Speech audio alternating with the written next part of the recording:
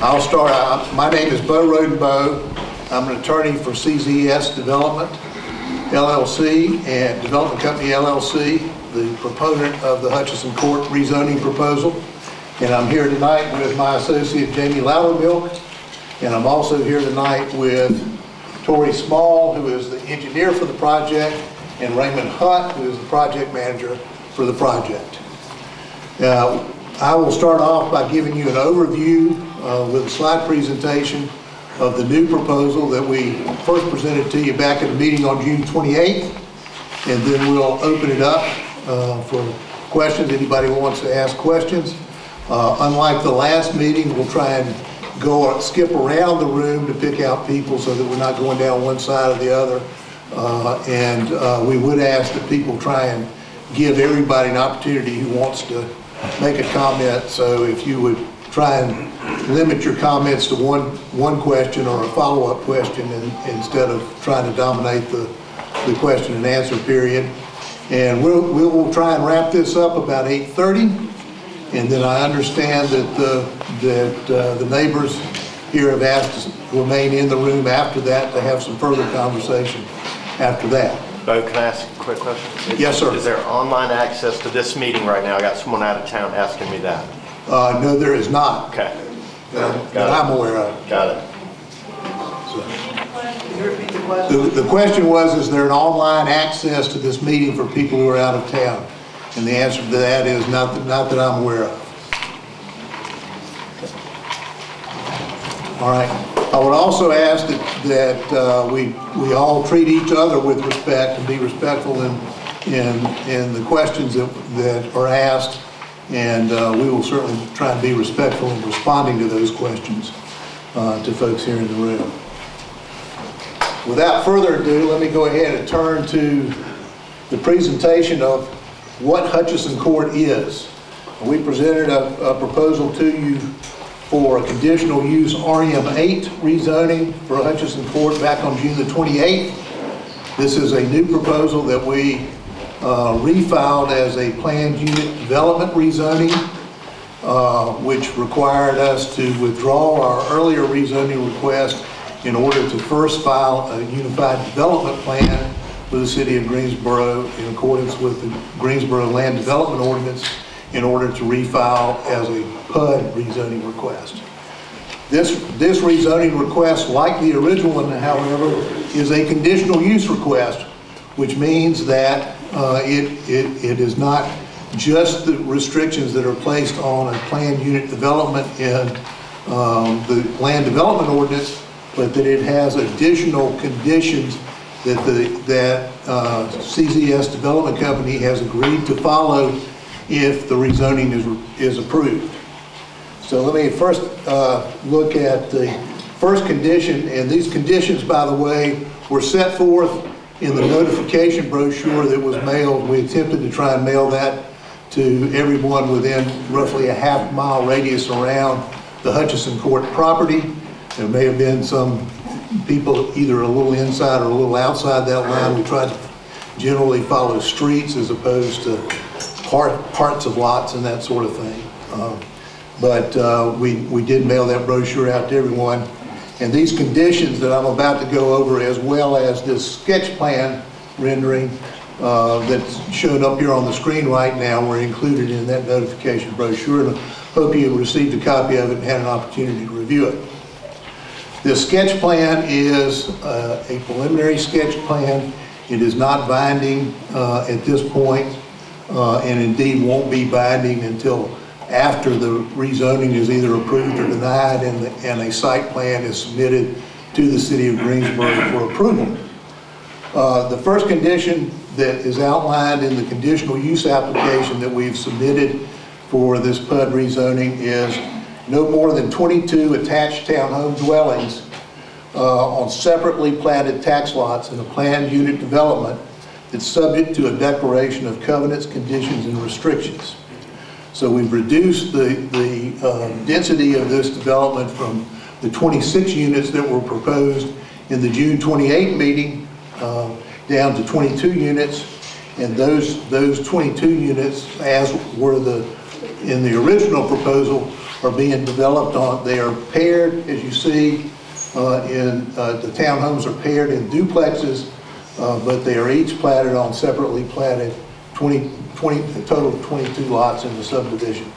And those 22 lots are all subject, like the lots in the village at Windsor Park, uh, which is another townhome development, which is adjacent on two sides. Not townhome, Well, if you, single residence. Get your shit correct. get my shit correct? Yeah. Okay. Well, if if you, if you look at the original, if you look at the original uh, plat that was recorded for um, um, uh, the the village of Windsor Park, it refers to it as being approved under the townhome um, provisions of the, uh, of the then uh, land development ordinance in the city of Greensboro. And they're, they, are- they, like this development, are subject to a declaration of covenants, conditions, and restrictions that provide for the maintenance of the private roads and the common areas within the subdivision by homeowners association, which is the same thing that is proposed for Hutchison Court. And they also provide for the uh, maintenance, the exterior maintenance of the homes in that subdivision, as well as the grounds maintenance of the individual lots, not just the common areas, but the individual lots in that subdivision. That is the same thing that is proposed for this uh, Hutchison Court uh, subdivision. The other thing that you'll notice is uh, about this, uh, on this sketch plan, is that all vehicular access, this is the seventh condition in our zoning application, will be taken only from West Friendly Avenue. So there is basically a circular uh, traffic plan within the subdivision, which is a private road. Again, just like the, the village at Windsor Park, and similar to the Benfield development down at the corner of Holden Road and Friendly Avenue, which there's also, that is also served by a private road. Uh, And that access is, is solely back out to West Friendly Avenue. That prevents traffic from this subdivision from going into the adjoining neighborhood. So unlike the village at Windsor Park, this doesn't, doesn't flow out into an adjoining neighborhood, in that case, the Windsor Park neighborhood, but rather flows directly into Friendly Avenue. Right, If you turn to the next slide, please.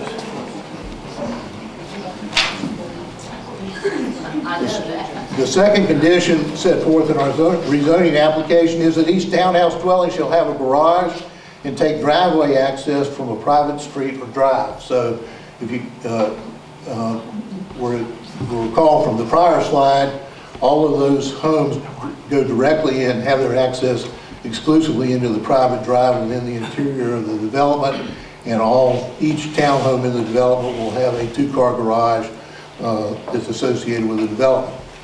The building height shall not exceed 35 feet. That's provided uh, in- on the UDP. And in addition to that, this condition requires that the, the- that uh, the townhomes be no more than two stories. Okay. Our fourth condition is that building facade material shall consist of no less than 70% wood, stone, glass, brick, and/or cementitious material like OSB board or hardy board. Neither vinyl siding nor exterior insulation finishing systems or EIFS systems, uh, synthetic stuccos commonly known, shall be used on the building facades. There may be vinyl materials uh, is as a- is used in all modern construction as part of windows, doors, and trim products. The seventh condition is that the townhome facades will prevent, present a variety of architectural detailing, fenestration, and colors, and combinations of materials to differentiate the in- individual units.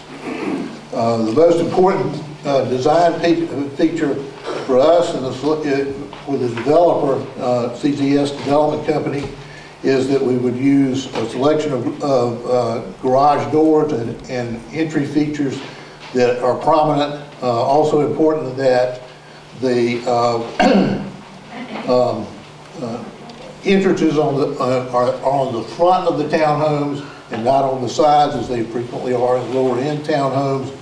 This is more expensive, but it's also a far more attractive arrangement. We're trying to pay a lot of the detail to the front entrances and the garage doors since those are important design features.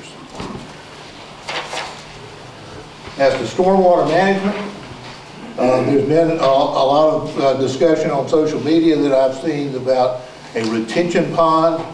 that we are required, this subdivision or any other subdivision that would now be approved in the city of Greensboro is required to have stormwater management such that you control the siltation running off of the site and you also control the initial rain, rain- rainfall falling onto the site. And so we are, we are not proposing a retention pond as that stormwater management device. Instead, we're going to go with a grassed um, um, uh, bioretention cell or a landscaped bioretention cell. The, the photo in the lower right corner here is of a grass bioretention cell, which is out at Jaycee Park here in Greensboro. The other two photos are of stormwater bioretention cells that are landscaped uh, with plantings in the, in the bioretention cell. All, the common feature of all these cells is that they, when it, when there is rainfall, it traps the rain in the bioretention cell, which eventually filters into a stormwater drain in the bottom of the cell. Uh, but this is an attractive feature, unlike what you would see in a concrete retention pond at the Home Depot parking lot, for example. We're not, we don't have to deal here with acres of impervious surface draining into these, into these uh, stormwater features. And so uh, we would prefer to use a bioretention cell. That, of course, will be subject to engineering approval by the city of Greensboro. There's also been conversation that I've seen on social media about uh, the the bioretention features being close to Friendly Avenue, uh, that the device is going to have to be close to Friendly Avenue because that's the way the land drains. If we tried to put a bioretention cell in the rear of the project on the north side, for example, uh, it would, it would have to, the site would have to be completely regraded. We'd have to cut down all the trees, and we don't want to do that, and to regrade it back to that bioretention cell. So any bioretention cell is going to have to be located at a low point on the property for, for the water to drain into that property. This is, this, we think, is an attractive way to, to handle stormwater. It's also an advantage to the, to the surrounding community because we're controlling the silt running off of this site into these bioretention cells rather than into the storm sewer for the city of Greensboro and Friendly Avenue, which, as you know, then drains into Lake Euphemia and the other lakes in, in, uh, um, in, across the street on the south side. And as you know, this community has been in a battle with the city of Greensboro for what, maybe two decades over who was going to be responsible for uh, mucking out those those uh, lakes and ponds um, in- across the street. This will, this will reduce the amount of siltation and will trap the siltation coming off of this site, going into the storm sewers in Friendly Avenue, and then into Lake Euphemia and the other lakes south of uh, Friendly Avenue. Uh, This will also control floodwater as well, which is another advantage to the neighborhood. I've seen some comments on Friendly Avenue, uh, on social media about people complaining about the amount of water coming off of Friendly Avenue uh, onto their properties on the south side of Friendly Avenue. These, these bioretention cells will control the, the water, the runoff from this site. Won't do anything about what's falling onto Friendly Avenue, but will control the water coming off of this site. We may try, and you, you'll recall in the earlier slide that we have an open common area in the center of the development. Uh, we, we may try and, and put the bioretention cell in that open common area. Uh, and we also may try and put in more than one bioretention cell if that would enable us to save some existing trees on the site and that sort of thing.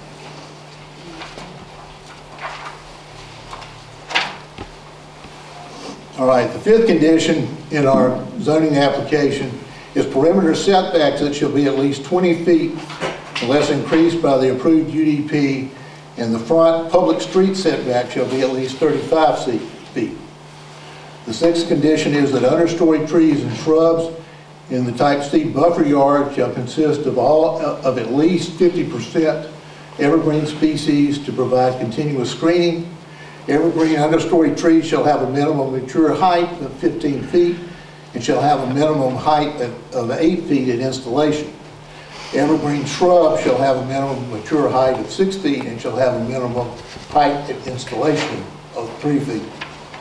Uh, Now, as far as, and we'll, we'll talk a little bit more about both those. The proposed details on the zoning, you will, you will see on this zoning map um, that uh, uh, the village is at Windsor, which is located right here. The Hutchinson Court site is where this black dot is. Village is at Windsor. The, excuse me, got away from the microphone.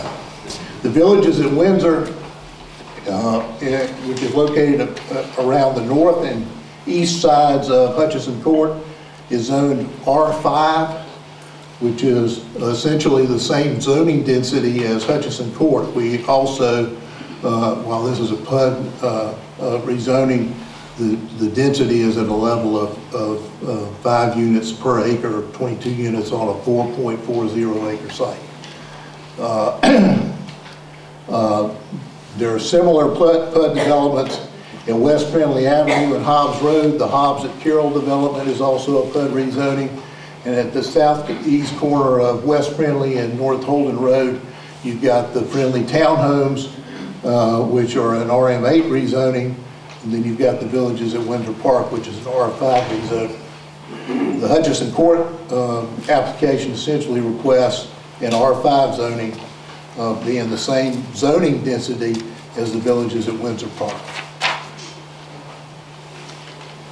Now, as far as, as the details on the zoning density, uh, we've, we've included a quote here from the Brookings Institution, Institute uh, uh, publication back in 2019. Many single-family neighborhoods could easily yield more housing and more affordable housing if land use rules allow general increases in density such as townhomes, two to four family homes, and small-scale apartment or condominium buildings. This is, this is a very gentle change in the zoning density. Excuse me. Uh, The zoning density here is going from three units an acre to five units an acre, which is a, a change of about, from a third of an acre to a quarter of an acre in the zoning density. And that, as I said earlier, is consistent with the uh, zoning uh, density in uh, the villages at Windsor. I recognize that the villages at Windsor has been uh, constructed at roughly th- three units an acre. Uh, This, this is, we believe, the very definition of general uh, de- density increase. Uh, The application condition is for a minimum of 35-foot setbacks from the, from the right-of-way of Friendly Avenue. The setbacks within the uh, preliminary plans for, uh, sketch plan for Hutchinson Court, however, are greater than that. There is one building, and and could you, uh, Jamie, go back to the first slide? Sure.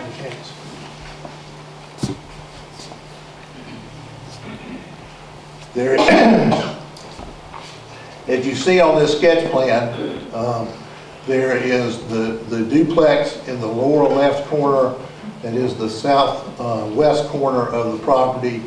That, that first duplex is uh, about 45 feet back from the right-of-way, uh, Friendly Avenue. The remainder of the, the townhomes in Hutchison Court would be between 70 and 300 feet back from the right-of-way of Friendly Avenue. And so there are uh, many homes along Friendly Avenue with a comparable range of setbacks, that is 70 feet uh, from uh, the right-of-way of Friendly Avenue, including uh, the village at Windsor Park, which is, has four homes along the southern boundary of that development that back up to Friendly Avenue and are but 70 feet back from uh, Friendly Avenue. Similarly, in the Benfield development at the corner of of West Friendly Avenue and Holden Road, the there are homes in the Benfield development that again back up to Friendly Avenue and are approximately 70 feet from uh, Benfield, I mean, from uh, Friendly Avenue right of way. Uh, um, We believe that uh, this general increase in zoning density is consistent with the GSO 2040 comprehensive plan and with uh, the other requirements of the land development ordinance in the city of Greensboro. Specifically, we believe that it meets the, the requirements of the comp- comp- comprehensive plan by filling in Greensboro's framework with housing that affords shorter commutes, smaller yards to maintain rental opportunities, and access to quality mass transit promotes a more, and promotes a more efficient use of the land via this infill development. That is taken straight from the comprehensive plan. We also believe that it creates a great, great place that is, looks inward on the development and is screened from both adjoining properties and from Friendly Avenue by lush landscaping. The developer is very, very clear in his objective of uh, uh, leaving as many existing trees and shrubs on this property uh, as, as possible in the development. And you can contrast what's already happened with this development. As you know, the three homes that were located on, on Hutchison Court property have been demolished. Great care was taken in doing that to demolish only the homes and not to take out any trees or shrubs other than the ones that were right up against the house, uh, the houses that were removed. You can contrast that with the development of the lots, but a couple of doors down to the west on Friendly Avenue, that where uh, a private party has purchased a couple of lots there, and as I understand it, Gary Job has been contracted to put in a, a very large home on that, that site, but in any event, as you can see when you drive by there, that, that, that uh, uh, property has been clear cut, grubbed, and graded in preparation for that construction of that new home. Well, you can let Andrew talk if he wants. And, uh, huh? We, we, we, we have no plans to cut every tree down. We- In fact, we have, the developer has every, every uh, objective of trying to keep as many existing trees on the property as possible, and then in the, in the course of construction, to infill with more trees and uh, vegetation, shrubs, and so forth, as we previously talked about in the earlier slides. So uh, there is, there is, we believe screening both from the adjoining neighborhoods, not by fences, but by, by uh, vegetation that we believe will screen the adjoining neighborhoods. And we believe that the, the view from, from Friendly Avenue will be much as the view is today uh, from, when you drive along Friendly Avenue. Um, And there is, there is, by the way, a bus stop um, already located on Friendly Avenue at the um, southeast corner of this property, and we've been being told by the city of Greensboro that they plan to locate a uh, bus um, uh, shelter and bench at that loca, the location of that bus stop as well. Thank you. So, uh, all right. We believe that Hutchinson Court will offer beautiful single and- and two-story residences for empty nesters. We believe that Hutchinson Court will offer beautiful two, single and two-story residences for empty nesters and young professionals. As we said previously, the maximum for the two-story buildings will be no more than two, 35 feet tall. Uh, And uh, I will note, uh, again, uh, Jamie, would you return to the first slide, the site plan? And it's difficult, it's difficult to see at this, this scale, but you may look back at your, the notification brochure that we provided to you. You can, you can see from the um, building footprints for the townhomes in this development that we have um, um, um, um, three uh, townhomes in this development. Uh, Lots eight, uh, which is at the northeast corner of the, of the development. Lot nine, which is its opposite around the corner. And lot 22, which is at the, at the northwest, excuse me, th- those two are at the northwest corner. And then lot um, uh, 22, which is at the Can you repeat that? Lower your microphone. All right. Use it. Okay. All right. So we have, we have three, um, three, uh, three homes in the, in in the, uh, development that are, um, um, um, um, one, single-story, uh, townhomes, lots eight and nine at the southwest corner of the, excuse me, northwest corner of the property, and lot 22, which is at the southeast corner of the property. We have uh, two homes that are primarily one floor with a second, second floor bedroom. Uh, Those are uh, lots two and um, um, uh, 16 and um, uh, 18 in the, in- on the, on the site plan. Uh, We have uh, three more homes that are um, um, um, uh, two, or, excuse me, are, are two-story with no first floor bedroom. Those are lots one and 15 and um, 17 on the plan. And then all the rest of the homes in the development will be two-story homes uh, with uh, first floor bedrooms, at least one first floor bed- bedroom in the homes. So there's a, there is a mix of homes here. I think we'll go back, uh, Jamie, to the uh, prior slide.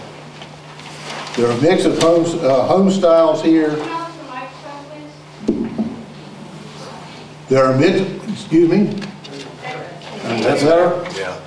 Okay, there are a mix of, um, there there are are a mix of, there we go. Uh, There are a mix of uh, home plans here. There are also, all, all units will have two-car garages.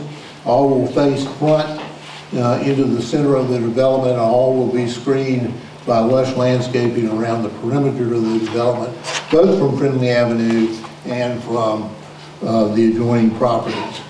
And Jamie, if you'll go to the next slide. You will, you will see that uh, we are, we are using both a mix of evergreens and lush grasses and so forth uh, to try and create a lush experience here. And the the zoning conditions, as I said previously, uh, require at least 50% of the uh, development, I mean, of the landscaping to be evergreen trees and shrubs, so they'll provide adequate uh, screening from the adjoining owners, to the adjoining owners.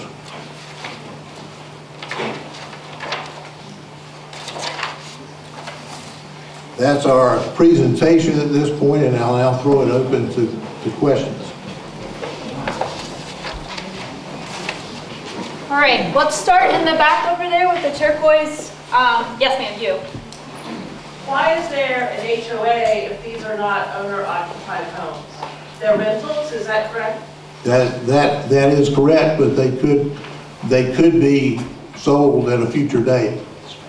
So, we are, it- the, the, the the Greensboro zoning ordinance does not provide for, uh, uh, rental or, or, or no rental, other than there, there is a very limited zoning restriction now, as you know, on short-term rentals, uh, um, um, of homes in Greensboro, but other than that, the LDO, you can't provide in the LDO for rental or not rental. You have to, we have to, we have to develop this development as if it could be sold, and indeed, we, we want to preserve the right to be able to sell individual townhomes here. And So as rentals, they'll have an HOA? Yes, they will have an HOA, and the only member of the HOA will be the owner of the townhouse. And then, can you put a percentage on the number of existing trees that you'll try to keep? Well, I can't, I know I can't put a percentage on the number of existing trees because it will, it will depend on the, on the development exigencies as we develop the, uh, the townhomes on the property and what the city of Greensboro allows us to do uh, in, in that development. I can tell you that the objective of the developer is to try and preserve as many existing trees as possible. And as I said earlier, we intend to try and um, uh, break up the bioretention cells, for example, to preserve trees. All right, let's go in the back here. Yes, sir? Thank you. Um, Earlier, you made a, a number of comparisons of Hutchinson Court with, uh, with Windsor Court, which is uh, zoned R5. Um, Is there a reason that, what's the reason that you're pursuing uh, PUD rather than R5? Well, we, because the PUD uh, gives us more flexibility with respect to setbacks and uh, that sort of thing that an R5 development would. Is it related at all to the fact that R5 allows single-family homes and zero lot-line homes, but does not allow townhomes? Yes. Thought so, thank you. All right, in the middle here, the black sweater. No, sorry. um, That's okay. Okay. We'll Um. I have a question on parking. All right. As it appears, each of the homes has a driveway in front of it, in front of their houses, that there is their parking spaces. And they're very densely next to each other. Where is the overflow and the guest parking located at? Because if people are looking for extra parking, they're going to have to be going to the residential neighborhoods around to find parking. No, we, we, there would be no, no provision for people going around to adjoining properties. The parking would be on the, in the driveways.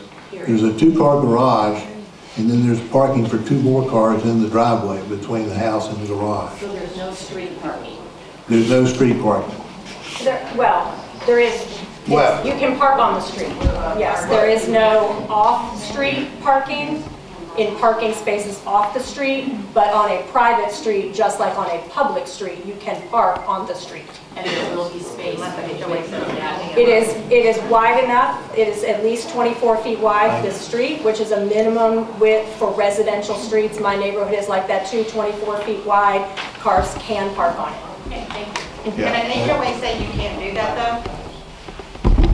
Yes, an HOA can say that you don't do that, but this HOA won't say that. So people will not be allowed to have parties if they're Jewish, they will not be able to have gatherings after someone dies, if they can't have families over for holidays.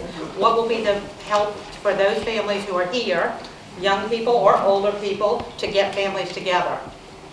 They will be able to park on the private streets in the, in the, in the neighborhood. 22 homes during the holidays are not able to do that.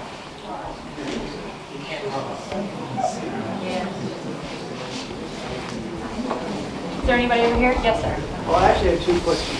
The first one was Can you stand up? I just want to try and make sure. Absolutely. I actually have two questions. The first one was about the biocell. Speak How up, often- please. I'm sorry? Can you say louder, please? I was asking about the biocell that they're using for retention of uh, runoff water. How often does that have to be maintained so that it will continue to do its job? In other words, if it fills up every two years or every three years, or do we have any information on that? Well, gen- generally a bio-retention device, whether it's a pond or a bio-retention cell or a bioswale, needs to be cleaned up about every, once every 20, 15 to 20 years. Okay. And then the other one, I think was related to the question I heard earlier about the parking issue. How is that, the 24-foot width I heard you say earlier, how does that work for emergency vehicles such as large ladder trucks or something like that? That is a, that is a standard width for a residential street in the city of Greensboro. And in fact, uh, Tori, you can correct me if I'm wrong, but I believe that these streets, uh, this street layout has already been approved by the uh, city of Greensboro's um, transportation department. We've already shared the layout with both the GDOT. It hasn't been officially approved, but we have shared it with both GDOT and fire, and we've made some uh, adjustments to it in specific areas. We have to um, have the garages set back at least 25 feet from the curb so that there's space for a car to pull up, and if an emergency vehicle is in the road making a turn, that they can still get by. There's software that uh, we put a, a- the Greensboro's largest fire truck in that software and run it through, and that goes in with our plans for review, and they will make us make changes in specific, specific areas. Um, I wanted to say also about the bioretention cell. The owner is required annually to do an inspection of the bioretention cell and to submit that to the city of Greensboro for approval. The city of Greensboro up until about a month ago, was doing that for owners. It was supposed to happen once a year, and it wasn't happening once a year, as the city was supposed to do it. So they've implemented a program now that the owners of the devices have to certify every year that there's been an inspection done by a qualified professional, and any maintenance items need to be taken care of. Okay, we're gonna go here to the man in the cap. I live at 4008 West Friendly. I know I have a lot of problems with this. Number one, you're not talking about the drainage that I worked with, with Mrs. Sabah. She has two collection chambers in that yard to collect water because of it draining from the back. She has one in the front and she has one in the back. The one in the back is because the city has taken the entire cul-de-sac behind us and put it through to my yard, and then they put a huge pipe across my yard that drains into this property. I don't know if you knew that or not. We- We are aware of that. Okay, but you said you're not gonna have anything back there, so what are you gonna do about all that We're water? not, we we don't anticipate putting a new bioswale back there for the runoff from Are this you site. gonna leave the collection chamber there? We, we will, sorry, I can't see you. And Victoria, will you hold the microphone? Yeah. Thanks.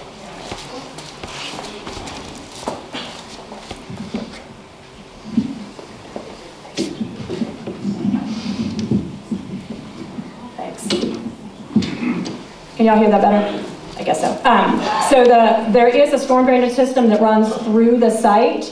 Uh, That off-site water will continue to move through the site. If possible, we would like to put our road on top of that so that we don't need to relocate it. If the grades don't work, we may need to relocate a portion of that so that it falls within the road. Um, We will not be putting that water into the bioretention cell. That water would continue to move through the site like it does now. All of the new impervious surface that we add to the site, gravel, sidewalk, roads, buildings, that will all drain in a separate stormwater collection system that would drain to the bioretention cell and be treated and released from the site at the same rate that it is currently being released. So it's held in that bioretention cell from both a quantity and a quality treatment. You're ignoring something significant in front of that pipe that goes across my backyard. And they had to dig out to make sure it drained that way.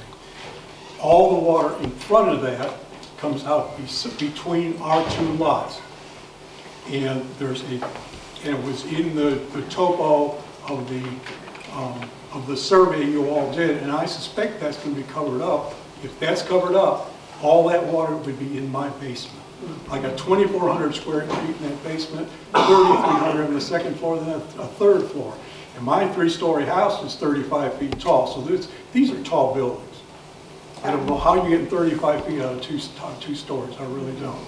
Um, So on the stormwater issue, we will certainly ensure, and the plans will be reviewed and approved by the city of Greensboro, that we are not backing water up onto adjoining properties. So if there's an inlet there or a a swale, we would need to go ahead and pick that up and put that into either the existing storm drainage system on the site, or we would put in a new storm drainage system to pick it up. Drain that into something across the driveway. It has to go out into the street. Okay, That's the fight that Mrs. Sabah and me had with, with that, with the city people that came out.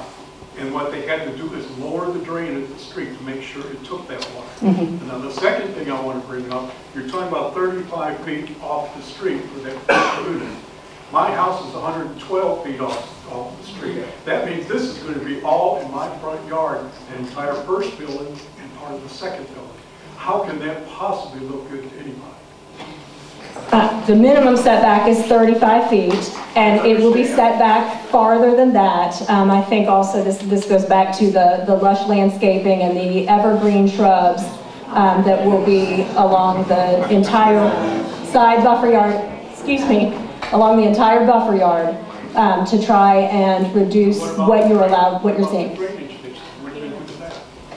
Even though I think most of that is on my property, you have put flags, so part of it uh, is on yours and part of it on mine.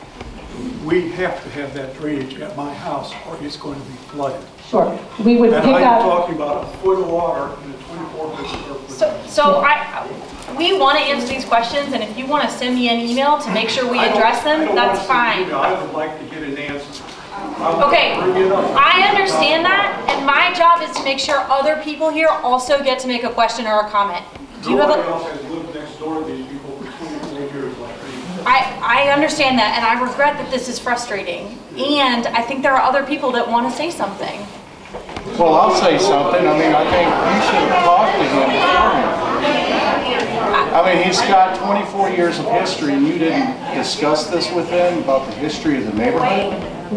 we, we've also just said that we are, we'd be happy to talk to him afterwards if he doesn't want to. been done before And- and- Excuse me, hang, hang on one second, please, please. This is I mean, you- also. You are already trying to roughshod thousands of people here for one man.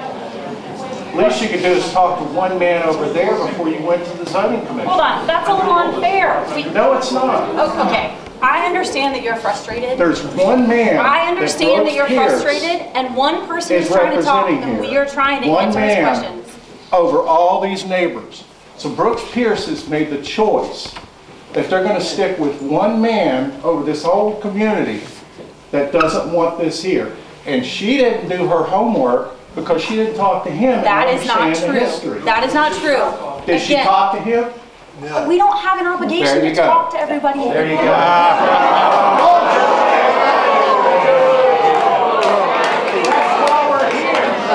I misspoke. I misspoke. I misspoke. That is my, I apologize. I, I apologize. Well, I've seen billions of dollars worth of business and, and, and, and billing fees, and I'm really pissed off at you. That's not, I, I am sorry. What are we, all, all all of us, did we just fall from a turnip truck? You think that we don't know what's going on? Why, why is this street lined up with signs? It took 20 years to be repaired by the city. And so what you're talking about here is not right, and we need answers. Everybody here would like to have those answers. I, I think we'd be happy to, to answer some of the stormwater issues. I, the issue at this point, I believe, is this is a meeting to talk about zoning. And the, the storm drainage design has not occurred yet and cannot occur until we get much deeper into the design. Until, until you fill in my street, I, We, I, I am legally not allowed, and the city will review and approve the plans. I cannot fill in your, the swale next to your house. What you're going to do though, I, I, I'm Are you going, going to leave the drainage there from both the yards? Are you going to leave the collection chambers in the middle of the front of this yard, of the yard there? I don't, I don't know yet because I haven't graded it yet. Next to my yard, there's going to be eight residences. I mean, I don't, you know, I- and I realize we're taking three lots together, but that's one lot. Absolutely, yes, and we're working through that with him, yes. May I say one thing along those lines real quickly? Um, I believe the reason there's frustration about not having the answers and response is because in the first meeting, Glenn Drew, when asked about these concerns, said, it's not my concern. Right. Yeah. That's where the That's when he the said trust built the issues home. come. And so I just wanted to put that out there. I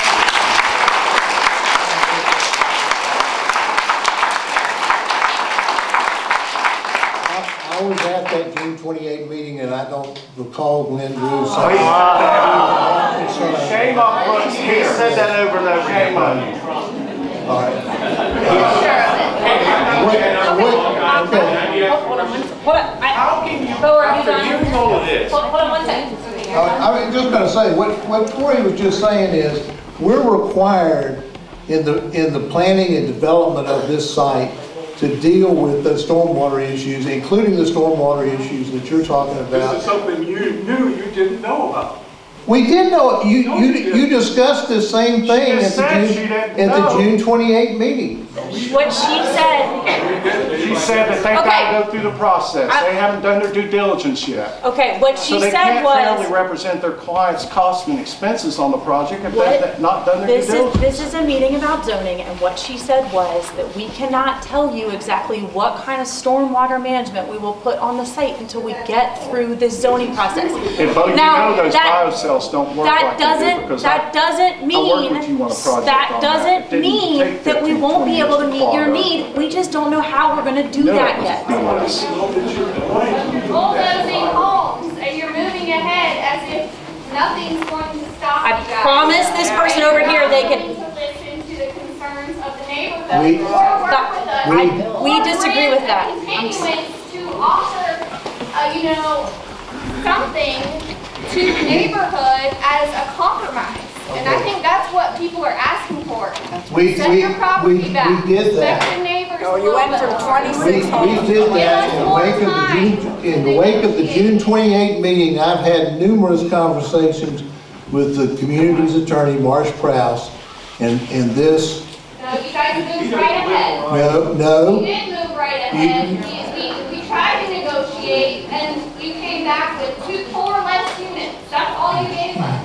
That, that's not all we gave. No, it's a PUD also. There's a PUD also. Yeah. We, So not, that wasn't very much that you, you conceded. that, that- there was a great deal that we conceded.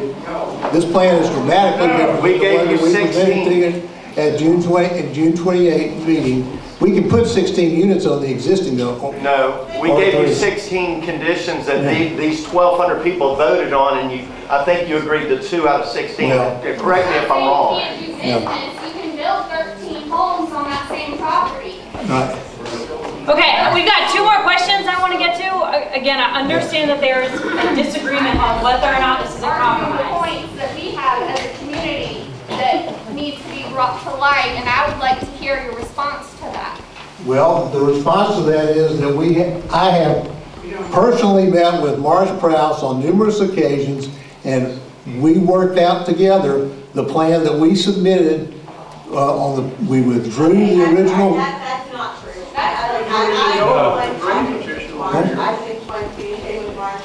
I know that you didn't work this, this plan out with Marsh and Marsh agreeing to this plan, because I've had the conversations with Marsh. And so, that, I like, uh, we're not gonna take up this time. This gentleman has some questions. I understand that you feel that you've worked with Marsh on this. We've worked with Marsh on this, we've had communications with Marsh, Marsh has been communicating to our points of view, through him, to you, to Mr. Drew, and those points have not been met. And so let's stop with the Marsh and, and you working with Marsh, because that did not happen. And Well- let's move on. You're not gonna answer Nikki's question, you're not gonna answer Al's question, so why don't we We, move on we are, we are trying to answer the question. I, I understand You weren't through with me trying here. to, but you're, you're talking Well, over we're through. And we're not getting anywhere. And so why don't we move on to another question? Move on. Okay, y'all, we have 45 minutes. Move on. We want to continue to meet people's questions. This is a meeting about zoning. I regret that there are frustrations we cannot meet because this group has different priorities than other people. But we want to address your zoning questions. That is what we are here for. Well, I think if you, I think if you drive within the, within two surrounding miles, in just about every yard, in every house, in Hamilton Lake and everywhere else, there's a sign that says, no rezoning. And I,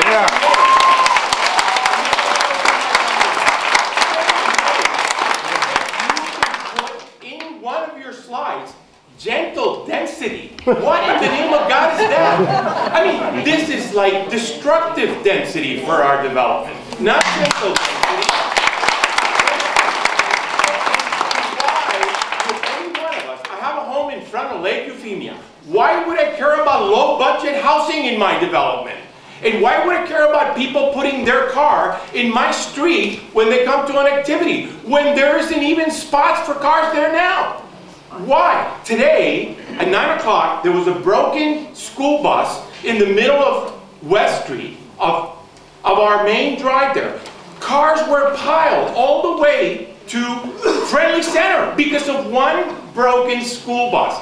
How can we keep putting more and more and more development and housing in this area. That is just, in my view, fundamentally wrong. And it should never be approved.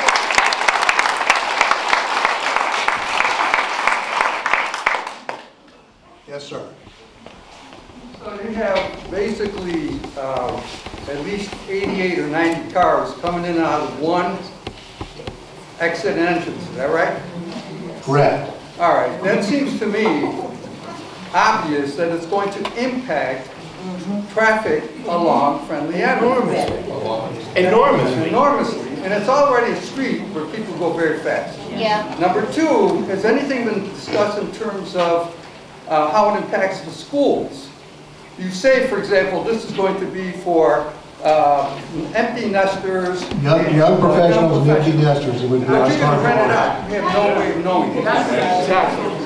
There's never any talk about how it's going to impact the schools, who's going to take care of the taxes for that, how, in the traffic along there already is bad. And I go with him, is how, it's just money, right? Because how can you, as a company, dare to put something in that nobody wants? Well, we're- we are, we are complying, we are endeavoring to comply with the uh, land use plan for the city of Greensboro, which contemplates additional infill development in this area. But you guys, you gotta let him answer, okay? We're gonna do questions and answers. Yes, sir.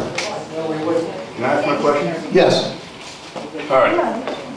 Before I say that, I just want to say that the landfill program for 2040 is generic. Just because it's there that says you can do it doesn't mean that you should do it or that you should do it here.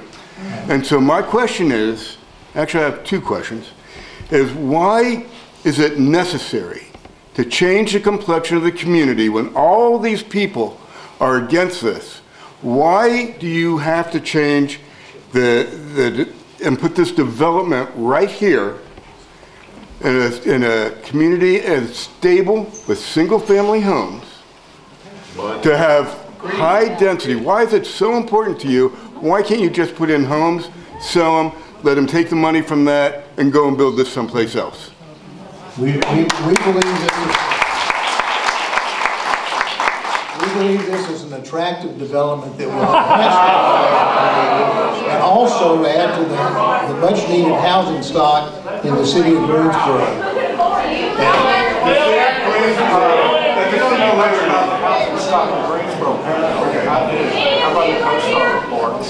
Okay. No, vacancies are up in Greensboro. They're not down. There's no need for new stock in Greensboro. You're just flat out wrong. Is there another question or comment? Uh, You've already spoken, so I'm gonna give it to this person right here. Thank you. I, I have a two-part question. All right? So the access is on Friendly. Correct. Friendly heading west. Correct. So my first question is, based on your proposal, when I get on Friendly, how do you want me to get to Friendly Shopping Center? Like a Wait a U-turn. minute, no, no, how am I getting to Friendly Shopping Center? You're gonna turn right out of, uh, out on West Friendly Avenue, and you're gonna go to the stoplight at Kemp Road West, and you're gonna make a U-turn and come back.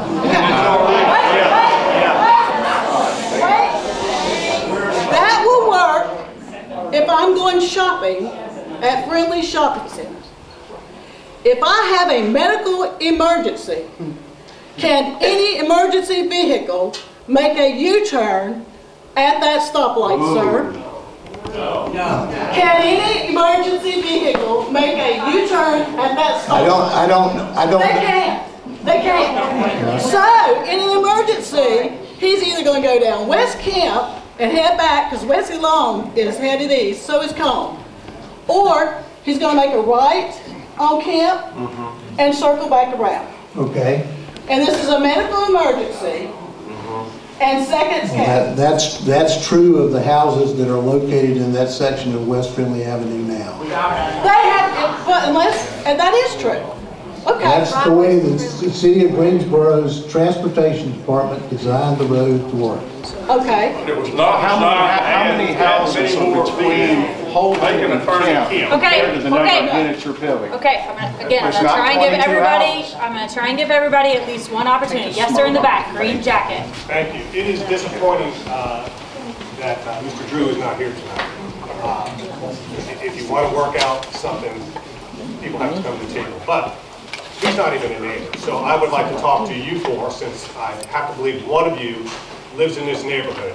Can you tell us why you believe this is a good project for our, for your neighborhood and ours? Which one of you lives here? I'm,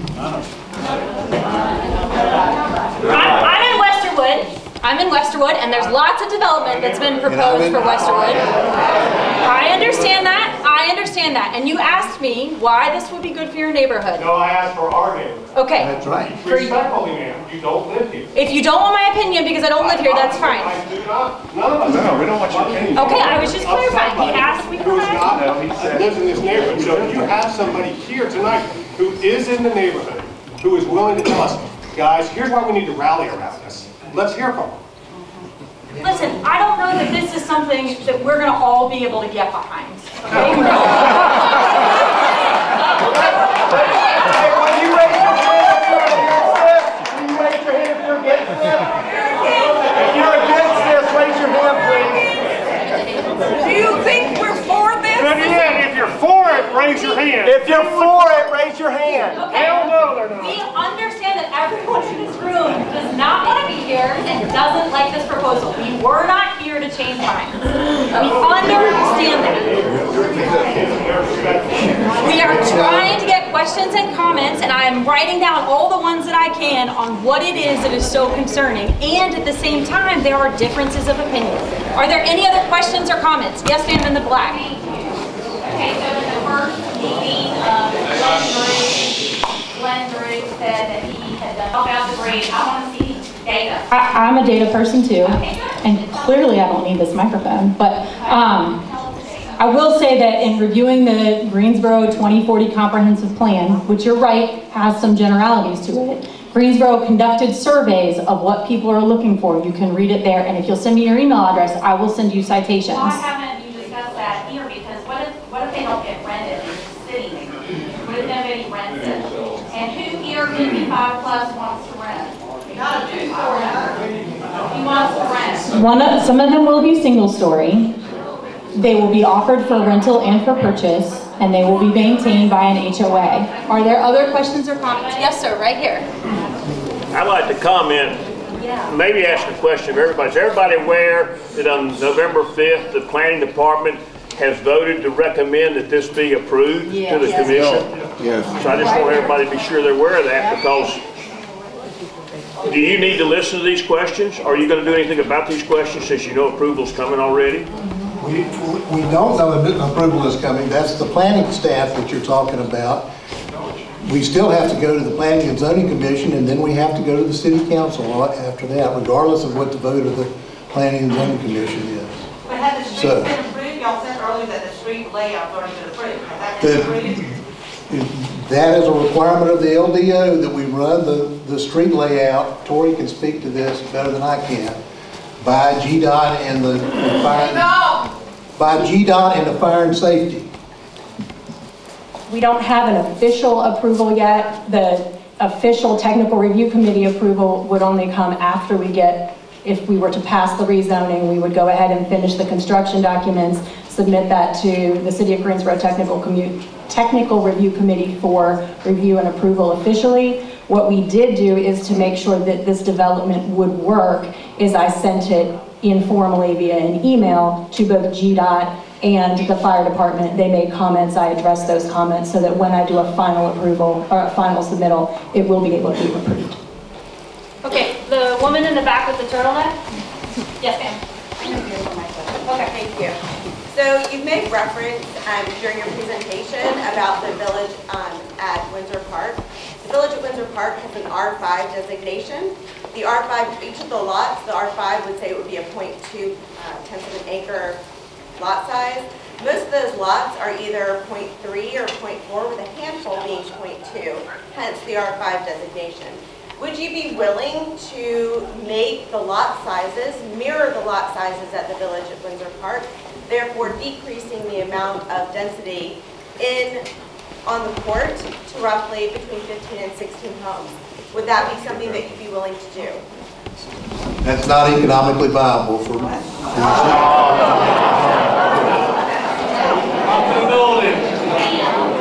Right, Lauren, yes, ma'am.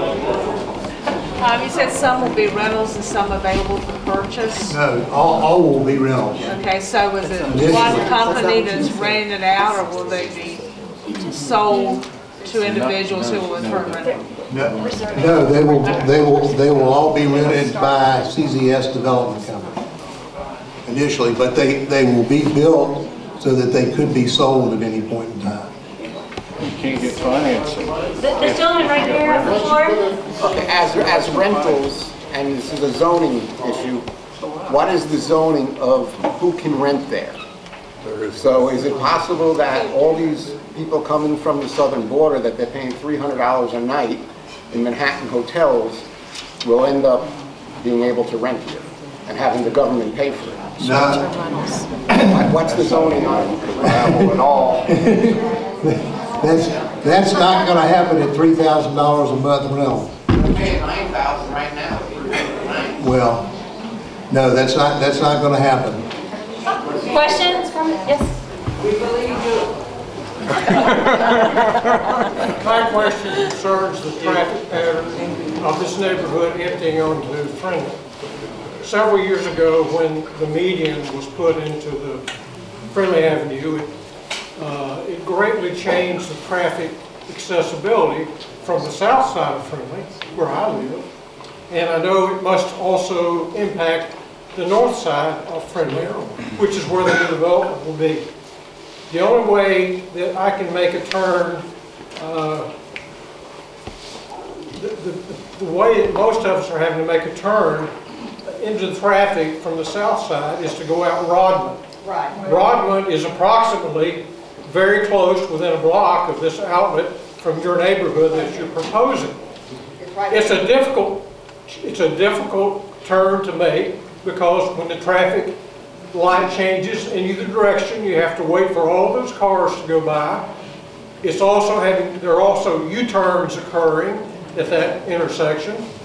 And I think it's, uh, when we are talking about another 20 to to 40 cars that are going to be using that in, two times a day, in the morning and the afternoon, uh, it's going to be a greatly increased uh, traffic issue. Uh, Greensboro once was a, a sleepy little town. There wasn't much traffic on Franklin. It's a major thoroughfare today. There is very heavy traffic in both directions. It is going to greatly inconvenience people on both sides of Friendly and in fact impact the, the traffic situation on Friendly coming from the west and the east to have this larger development there. I think more consideration has to be given to this and if the city is thinking about, oh, it's just another street emptying into Friendly, they're not considering the volume and the impact it's going to have on this neighborhood. What I, what I can tell you is that, that Friendly Avenue is a major thoroughfare and it carries more than 20,000 cars a day. And, and the, uh, the GDOT does not regard this as being a material increase in the traffic on Friendly Avenue when you're talking about perhaps if you figure 22 homes and figure two cars for each of those homes, twice a day, you're talking about maybe 80 trips a day roughly. And um, uh, in addition to the more than 20,000 trips that are already being made on Friendly Avenue. So it's not, it's not something that we even have to, uh, to uh, file a, a traffic impact study for. I'm really not concerned about how it affects Greensboro. I'm concerned about how it affects my family, our families, our neighbors. It's going to greatly inconvenience us. It's a, it's a And we, diminishing of our, we and the planning staff, the city of Greensboro, don't believe it will be a material increase in the traffic on Friendly. Okay, question or comment? Yes, sir. Yes, so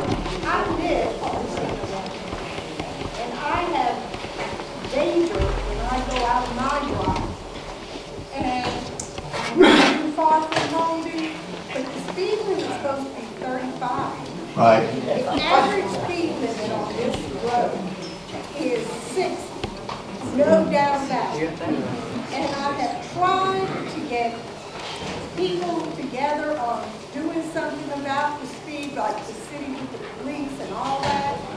And literally, I've almost just given up. A policeman stopped a car in front of my house and was uh, signing a ticket. Another car ran right in the back of that police car. Fortunately, he was not standing at the back of the car. Um, so the main thing that I'm concerned about is like this gentleman over here said, traffic. That's a lot of traffic just coming out, coming out, coming out. And if they have to cross, there's gonna be more wrecks. There's been wrecks So big, as far as day goes by, there's no wreck right there. You're gonna have to put a for these people to get out.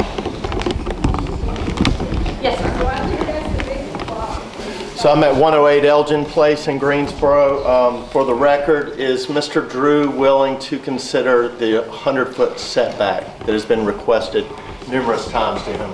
No. Okay. Is Mr. Drew willing to reduce the density of this project? Mr. Drew has reduced the density of this project from 26 to 22 So besides, besides 26, my 12-year-old can do this math, by, by the way, 26 to 22, besides reducing the number of units for and changing this to a PUD, what has really been accomplished between Marsh Prouse, our representative, and you since June the 28th, when we first had this conversation? Yeah, what did you negotiate? The, the, this plan that we presented to you tonight. So, so, so, but my question, I'm, I'm not, Bo, you've been in the business a lot longer than most of us, so I'm just trying to figure out four units less on the same amount of land, and you've, now you're putting this into a package called a PUD. What has changed to help Al with, with his property next door to help a thousand people that have signed the petition or more? What has changed besides the four units and it being packaged as a PUD? We've we've increased the set- the setbacks, we've increased the planting yards, we've agreed to much more dense uh, vegetation. When you say you increase the setback, you, you're, you're, the average home is in the 80 to 100 foot range. No, This is I'm 30. I'm talking about the setbacks from the adjoining neighborhood. Okay, the buffer. Okay, oh, okay, got it. But as far as the setback goes, is, he's not willing to increase that back to 100 feet as of, as of tonight? No. Okay. And and in fact, that's not the setback that's, that's followed by the village of Windsor or. Okay. Um, So one, one last question. What's the, would Mr. Drew, I know he's out of country or out of town, or he's not here tonight, would he be willing to agree to a continuance from my, my team and this whole group uh, to continue the November 20th date? To what end? To, to negotiate and to actually, he hasn't been willing to negotiate much at all. I've been part of this for about four months with a lot of input, studies, a lot of money that we've paid Mr. Prouse to negotiate with you, but I don't feel like there's been any negotiating other than, I mean, maybe we gave you 16 conditions. I think you came back agreeing to two out of those 16. It's my opinion that Mr. Drew has no inclination to negotiate whatsoever. Based on my time with him at Beth David and the last four months I've lived negotiating through Marsh Prouse. So would you tell me what kind of negotiations we have made in the last four months? I'm still, I'm still unclear about that. Well, I just told, I just told you, we've, we've increased the setbacks, we've increased the planting yards, we've increased, increased the amount of plantings, we've increased the uh, fenestrations and design elements in the, in the property. We have added provisions for at least seventy percent wood, glass, brick, stone, and uh, cementitious materials on the building facades. We have i- i- increased the, the, uh, the uh, uh, bioretention cells, to- I mean, to, to try and save trees and so forth. Right, but, but spot, this spot zoning has not, nothing has changed in my, the incompatibility and the spot zoning that is, that is being ramrodded down all of these people's, that, that has Well, not changed. that, the, the word spot zoning has been kicked around in your, on your website and on the, on the social media. We, do- we don't believe, and the city of Greensboro's planning staff doesn't believe this is spot zoning. Oh. So how is this, how does this fit in with the usual sir. customary use of Sir. all the homes there? Sir, I If got a you take couple look people at it, They're hundred foot setbacks. you've already asked. And they're absolutely refusing to abide by that. How is this a negotiation, or how are you trying to accommodate the community with this?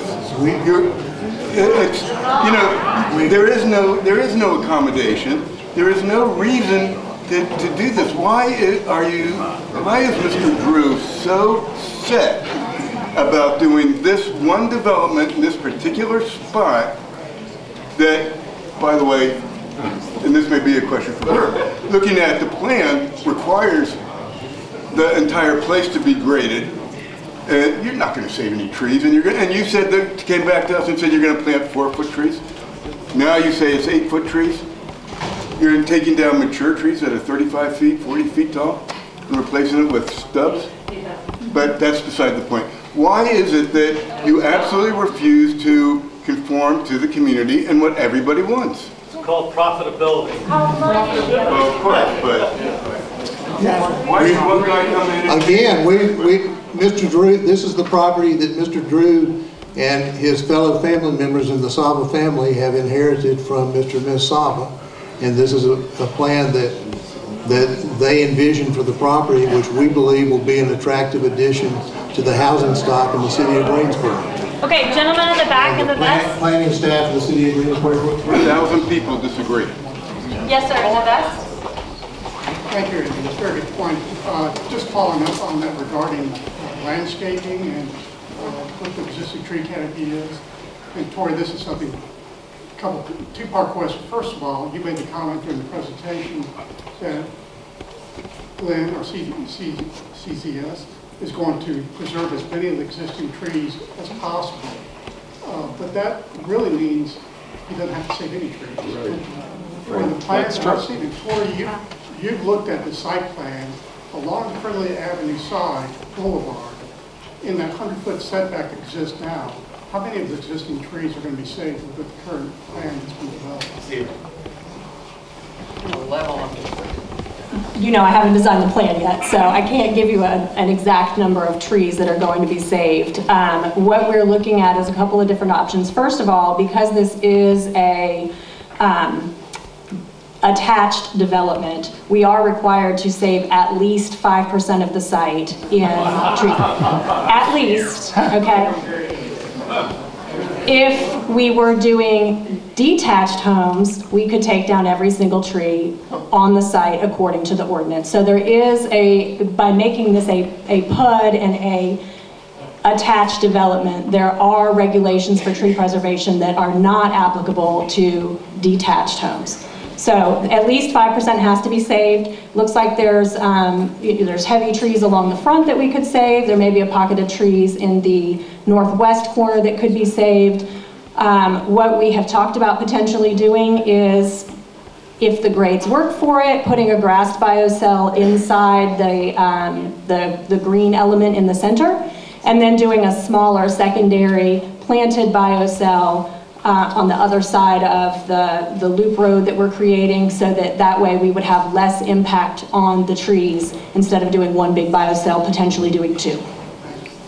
So going back to uh, Buddy's original comment about willingness to negotiate with this community to find solutions that are better than what's being put out there, why can we not have this conversation to find a solution and give us time to work together to find a solution that would we at least find, because right now, there is no, has been no compromise. I know what you said, Bud, but those are minute, you're missing the big points of what we need to have here. And I think we can find a a way that we can compromise on this. But there has been nothing that's come back. Yeah, that's no rezoning. And and just, and just follow, up, uh, to the questions asked previously, on the buffer setbacks or the landscape that you have on the side yards and the back rear yard area, How tall are those plantings typically going to be? I need to get my notes. I don't know that off the top of my head. Sorry. Sorry, I'm good to hear. Yeah, you got it. Yeah, thank you. All right, minimum mature height of 15 feet, minimum. Mature height. They'll have, they'll have a minimum height of eight feet at installation. Um, Shrubs will have a minimum mature height of six feet and a minimum height of three feet at installation. I mean, would you consider taking a look at what are the minimum size of tree or maximum size factors that we could save on this property? As opposed to saving smaller trees, but some of the nice big trees on this property, that we could save some of those? Would you be willing to work with this group, especially in that boulevard, the 100-foot setback along the Friendly Avenue? That is, that is the charge that we have from Mr. Drew, to try and save as many trees in the, in the design and construction of this development. Particularly, there, there are some trees in the southeast corner of the development, for example, along Friendly Avenue, that Mr. Drew would very much like to save, which is why Tori's talking about putting a bio retention uh, cell in the center grassed area. Can And Can you mark those and put those in the request so that it makes it, because what you're saying means nothing if it gets zoned, you can do whatever you want. So can you mark it, put it in the zoning, and, uh, in the, in the request, in the PUD, so that it becomes the agreement, uh, No, no, we can't do that. Um, And, no, we can't, because we can't do that until the, the design has been finalized on the development, and we can't do the design until we first get the, get the rezoning. Why not? Why? That, that's a good point. Your, your application shows your proposed location of the biofill. That proposed location is right in front of Friendly Avenue. Let's push it back. Let's propose that it be pushed back. Let's engineer to that. But it's in a low spot. The low Right, spot but is you on can Friendly. I engineer can't to put it. I It's the most put it up there. economical place to No, put it in the. no, that's the, doesn't that's, Not the most possible. that's the spot that is required by the city of Greensboro That is Planning not Department in That is not true. in putting in the UDP, that we have to to go in a low spot. The biocell cannot go uphill. Water can't go uphill. You It's got to can go in a low engineer the spot. site. You haven't engineered the site. You're proposing to put it right in Friendly For Avenue. purposes of, of submitting a UDP to the city of Greensboro under the LDO, we have to put it in the low spot. Okay, I've got two questions over here. Gentleman in the jacket. The reason we're gathered here is so that you can check one of your boxes to say you've had a community meeting.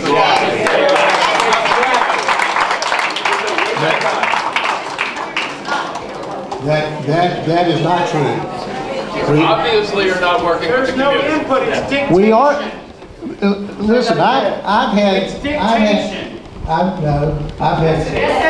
I've had, Let him speak. Let him speak. I spoke with Mr. Prouse this afternoon, your attorney, and invited him to the meeting here tonight. And he told me that, he- that he had not been invited by his clients to the meeting tonight. That he was, he also thanked me for my professional vision in dealing with him and that's the negotiation of this, of That's this. very low, uh, That's, that's true. That's not That, that is true. It's true that we didn't invite Marsh Prouse here. or is it- That's true, that's what he told us. That's what we, did- what he told I us. That. That is not what he said. He said that he felt that, that he had other things going on, other cases, and he didn't feel like his time right now to argue with you in front of everybody. So he will be at the November 20th meeting, and we are in communication with him. And so I, I think that painting Mr. Prouse in this light, that he has worked this plan out with you, with his approval, and you're insinuating um, his approval with this, um, does not sit well with, with any of us. I'm- I- What I'm, what I'm telling you, ma'am, is that, is that I've had multiple meetings and telephone conversations with Mr. Prouse, and he has asked me for things on behalf of the community, and I've said, we can give you that, or we can't give you that.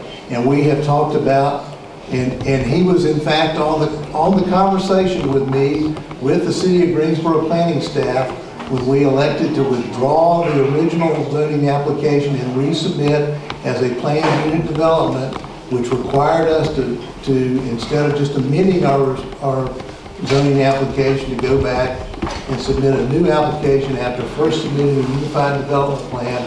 And I discussed all that with Marsh, and Marsh thanked me for the professionalism that I had exhibited in talking with him about those things.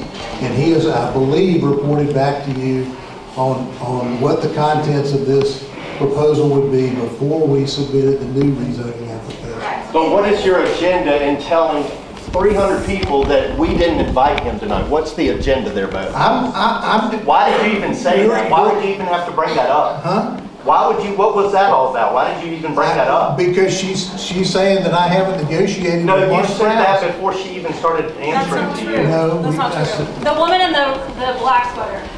Um, well, I just, I know that we've spent a lot of time trying to save the integrity of our neighborhood, and I spent a lot of time answering that questionnaire that was sent out to all of us.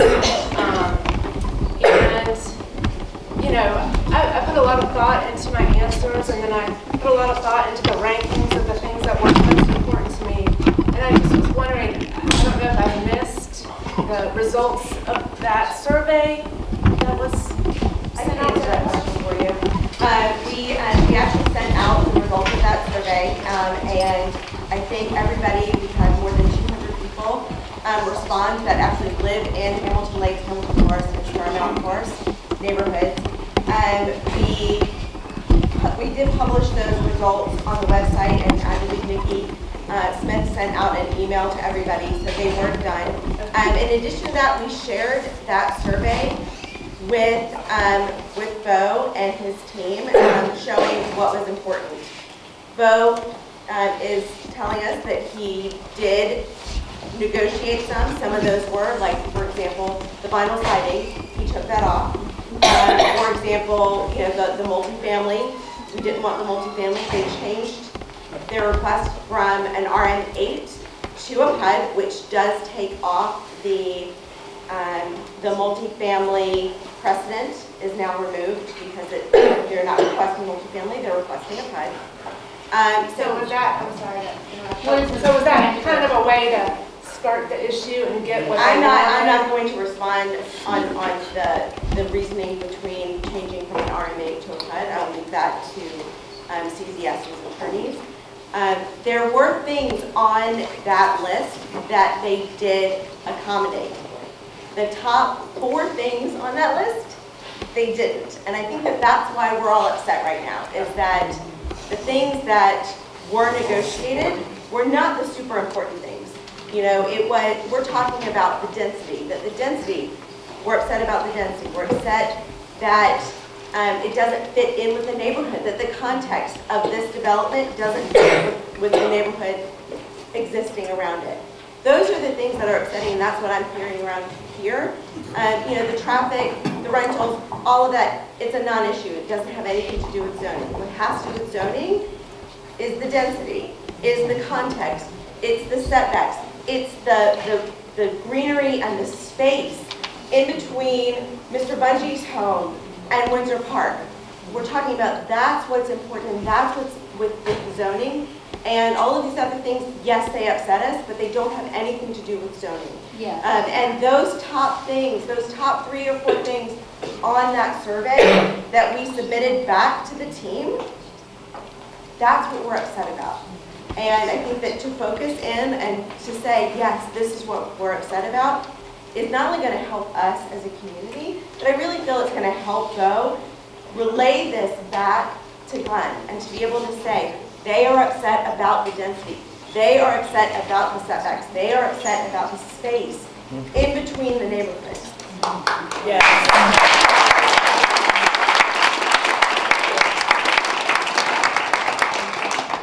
Any other questions or comments? We got a couple minutes. All right, I'm gonna take two more. Yes. he's inherited this wonderful land. Why doesn't he build his own house there? We'd make great neighbors. I mean, really, why does he have to build something there for profit? Yeah, it's all for money. And that's not, that's not being human. That could, that could be said of the original developers of Hamilton Lakes and Starmount Forest. Yes, sir, in the jacket. I think I know Mr. Drew's intentions. He's going to build them, he's going to fill them, he's going to flip them. He's going to sell them to somebody, he's not going to manage it within a year. Right. If all he wants to do is sell them, has there been any consideration to recreate like a Windsor Park? Individual homes, not rental homes. I think people would be a lot more content with doing something like that than building apartments. Or Dunkirk, Dunkirk or another subdivision, Yeah, I mean, another just- cul-de-sac. Instead of apartments, just build them as condos or uh, individual homes, patio homes. They are not, they are not apartments, they are townhomes. Oh, what's the difference? There is, a- there is a significant difference, and, and you can't, under the, under the city of Greensboro zoning ordinance, whether they're rental or for sale is not an issue. And you'll find when you go before the planning and zoning commission and the city council that they won't entertain questions about that. It's also, it's also a market reality. I mean, right, we all know how hard it is to sell right now with interest rates going up. So.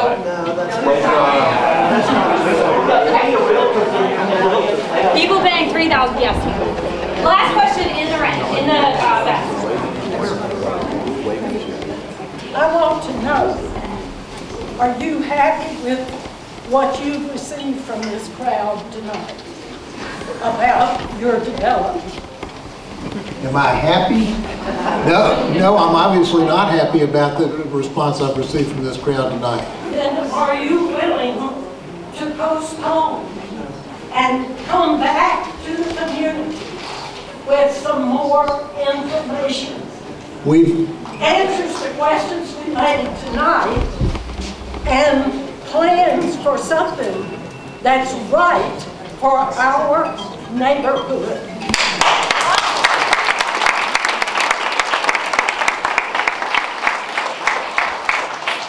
The short answer to that question is we're not willing to, again, continue the, the rezoning request. We, we have already withdrawn our original rezoning application, negotiated with your attorney on the things that we would and wouldn't do to change our, our plans, and we, we are now scheduled to go before the Planning and Zoning Commission on November the 20th, and you will have the opportunity there to, to address your concerns to the Planning and Zoning Commission. This is not a conversation between attorneys.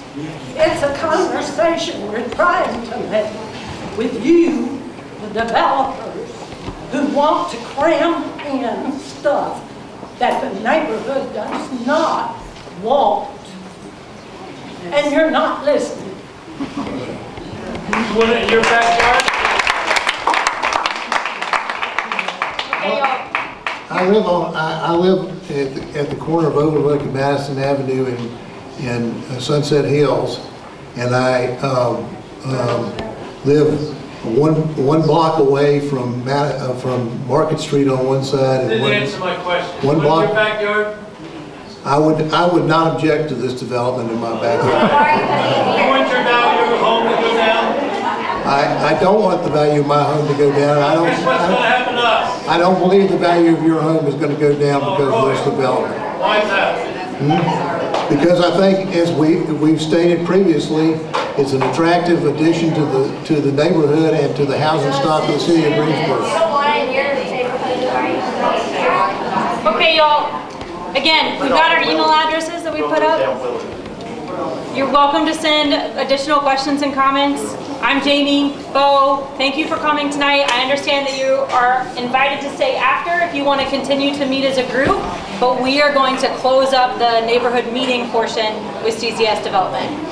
Thank you. For those of you that are still here, as soon as they're done, we would like to talk about the next step, next Monday. Have 10 or 15 minutes to talk to us want to talk to you about our side of the story. Okay?